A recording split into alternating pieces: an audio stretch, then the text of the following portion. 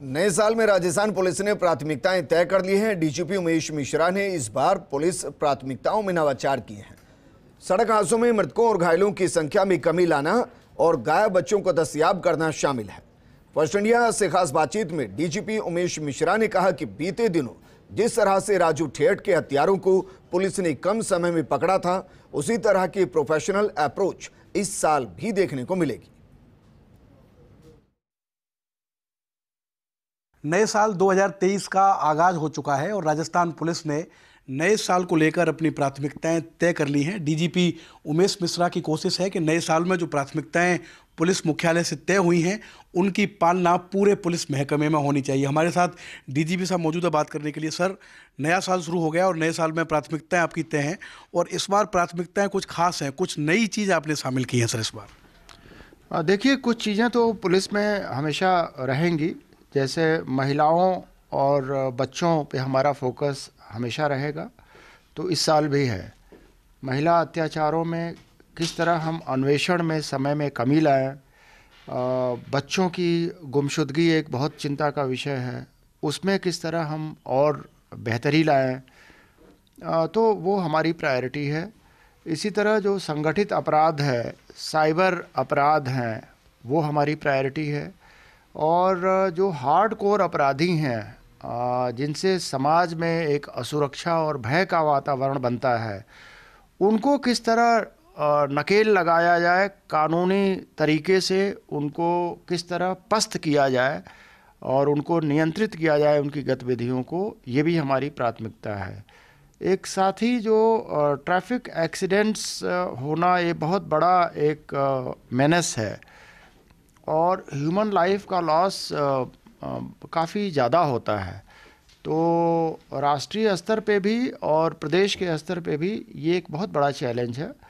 तो वो भी हमारी प्राथमिकता है कि किस तरह एक्सीडेंट्स को एवर्ट किया जाए, वो कैसे रोका जाए एक्सीडेंट्स और उसमें पुलिस का ही रोल नहीं होता है। रोड इंजीनियरिंग और ट्रैफ़िक सेंस लोगों में होना इन्फोर्समेंट ऑफ़ ट्रैफ़िक लॉज और uh, चेतना जन चेतना uh, बहुत सारे फैक्टर्स हैं।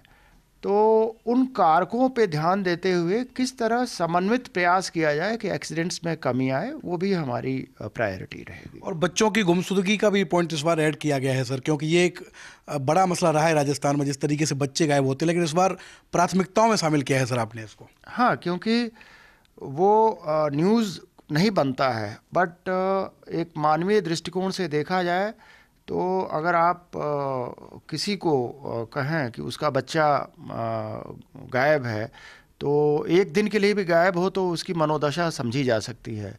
तो उसमें ह्यूमन एंगल को देखते हुए हमारे लिए तो बहुत बड़ी प्राथमिकता है और उसका भले बहुत ज़्यादा न्यूज़पेपर्स भी कवर नहीं करते हैं, उसका बहुत ज़्यादा हाईलाइट नहीं होता है बट मेरे ख्याल से वो बहुत बड़ा काम है।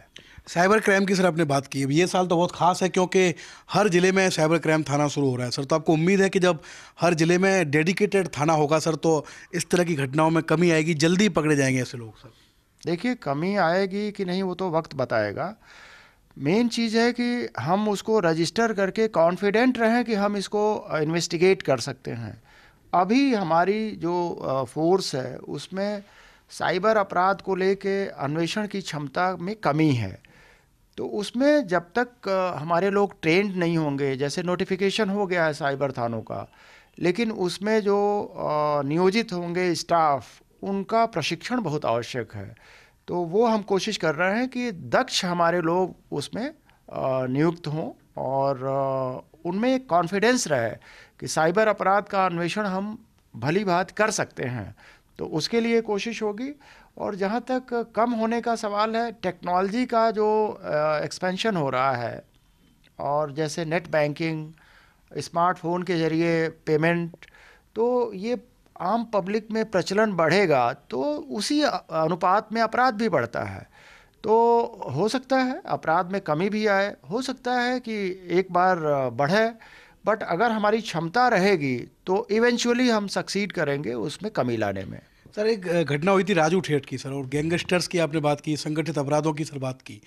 उस घटना में जिस तरीके की कार्रवाई राजस्थान पुलिस ने की, जो एक्शन हुआ, उससे ये मैसेज गया कि राजस्थान पुलिस बहुत प्रोफेशनल तरीके से काम कर सकती है और दूसरे प्रदेशों के लोग जो समझते हैं कि यहाँ आकर क्राइम करना बहुत आसान है, वो आसान नहीं है तो वो सिलसिला इस साल भी जारी रहेगा, सर, किस तरह से रहेगा?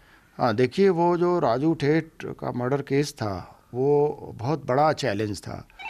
लेकिन राजस्थान पुलिस ने पूर्ण पेशेवर दक्षता के साथ कार्य किया और बहुत तत्परता से कार्य किया और उसी का प्रतिफल रहा कि 24 घंटे के अंदर अपराधी पकड़े गए। और इसी तरह आपको ध्यान होगा कि उदयपुर में भी जो एक ट्रैक पे हुआ था ब्लास्ट और वो हम लोगों को लगा कि कहीं आतंकवादी घटना तो नहीं है। उसको भी हमारे उदयपुर पुलिस और A T S S O G और वहाँ स्थानीय इंटेलिजेंस की यूनिट इन सब के समन्वित प्रयासों से वर्कआउट किया गया और बहुत शीघ्र उसको वर्कआउट किया गया, अपराधी पकड़े गए और उनको निरुद्ध किया गया। तो राजस्थान पुलिस एक जिसको कहते हैं प्रोफेशनल अप्रोच के साथ आगे बढ़ रही है, पेशेवर दक्षता के साथ आगे बढ़ रही है और उस दक्षता को हमें और निखार देना है इस साल। तो क्या दूसरे जो प्रदेशों के डीजीपी है सर, उनसे बातचीत की जा रही है, खासकर हरियाणा, पंजाब, उनसे एक मीटिंग भी हुई है सर आपके इंटरेस्टेड जी हाँ उन लोगों से हम टच में हैं और इस कोऑर्डिनेशन को, इस संपर्क को और ज़्यादा हम इसको बढ़ाएँगे क्योंकि जो इंटर स्टेट गैंग्स हैं, वो समन्वित प्रयासों से ही उन पर काबू पाया जा सकता है। तो कोऑर्डिनेटेड एफर्ट्स करेंगे, हरियाणा, पंजाब दिल्ली पुलिस कुछ हमारे इशूज उधर यूपी से भी रहते हैं। तो इंटर स्टेट गैंग्स को काबू करने के लिए बहुत ज़रूरी है कि हम जो पड़ोसी राज्य हैं, उनके साथ संपर्क रखें मीटिंग्स रखें और कोऑर्डिनेशन हमारा एक्सेलेंट हो।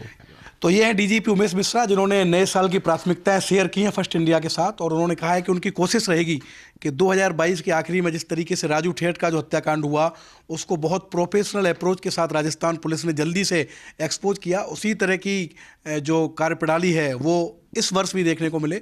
पुलिस वेलफेयर के लिए भी उनकी कोशिश रहेगी कि अच्छे कामों खासकर महिला पुलिस अधिकारियों को, पुलिसकर्मियों को और सुविधाएँ मिलें। कैमरामैन सुरेंद्र के साथ Shivendra Pratap Singh Parmar first India news Jaipur.